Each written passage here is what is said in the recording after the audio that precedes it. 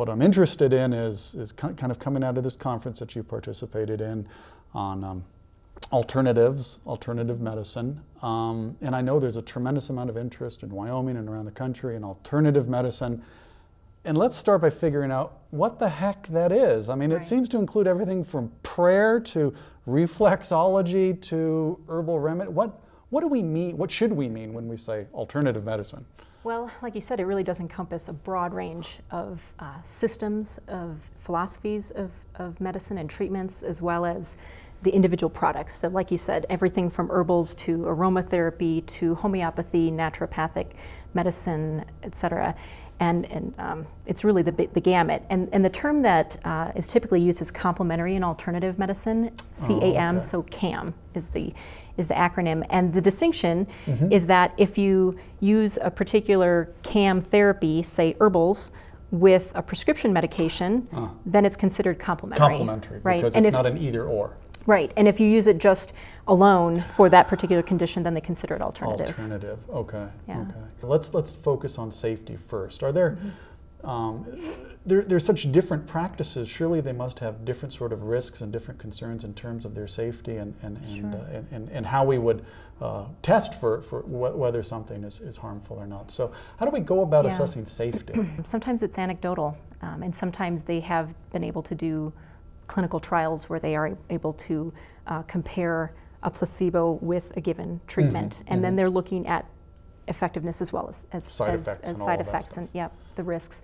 Um, in some cases, too, the risks are just the money that you're expending because if something is you know, something such as um, aromatherapy, probably not going to hurt you in any way, uh, but you know, is it going to be effective? And, and, they actually have shown some studies that aromatherapy can help with stress and that kind of thing. Mm-hmm. Um, but typically, CAM is used uh, by people and paid for by people. Insurance companies don't pay for it. So some of the risk is financial. Mm-hmm. Um, mm-hmm. Some of the real risks that I am concerned about as being in the School of Pharmacy is with things that we ingest. So things like um, overuse of vitamins, um, certain herbal remedies that, that mm-hmm. if taken incorrectly, if taken in uh, higher amounts than intended, mixed with certain things. We have references that we can use, but there aren't always solid evidence studies right. to show us, you know, if you take this and this, what really will happen. And so there are a lot of gray areas, a lot of big questions.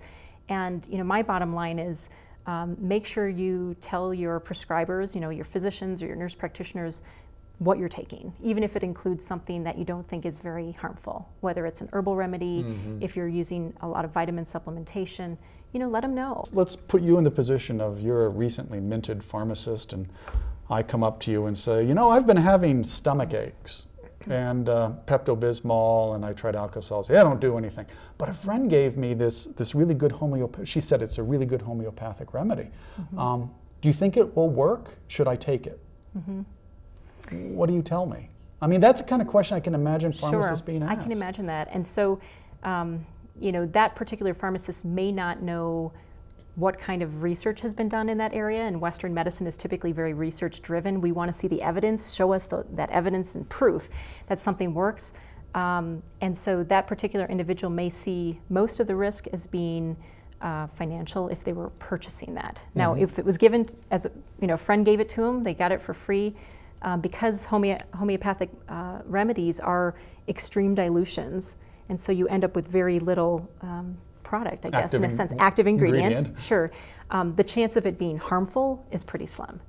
Um, and so the question then would just be, is it really going to work? Now, if it's a stomach ache, probably not real serious. If you're trying to treat cancer, that's another story. If you're trying to treat something really, um, you know, really serious. And, and typically you do see more of the homeopathic remedies going uh, or being used by people for less serious. Mm-hmm. Less so, but that's things. that's another issue on the on the risk side. I guess that's mm-hmm. where risk and uh, uh, safety and effectiveness come together. Right. Is that if there's something really wrong with me and, and an mm-hmm. alternative medicine, right. it, even if it doesn't cost anything, it could cost yeah. me an op- sort of an opportunity cost, right? Because I'm not mm-hmm. taking something that that might have been tested and and so mm-hmm. is is that I mean so you say you know uh, homeopathic remedies are often for these I mean, Less when benign, I have a stomach ache, it's not minor, but yeah, when others right. have it, it's yeah. it's usually pretty minor. Yeah. Um, so in those, so so would you say that that those are, are places in which the, the consumer might you know, maybe we shouldn't use the word, but experiment, try, extend uh, possibilities if they're dissatisfied with Well, what they're getting through conventional? I'll tell you-? I'll tell you that consumers, you know, we as consumers, we do try things, we experiment, and you know, those the research supports the fact that, you know, we our neighbor recommends it, we might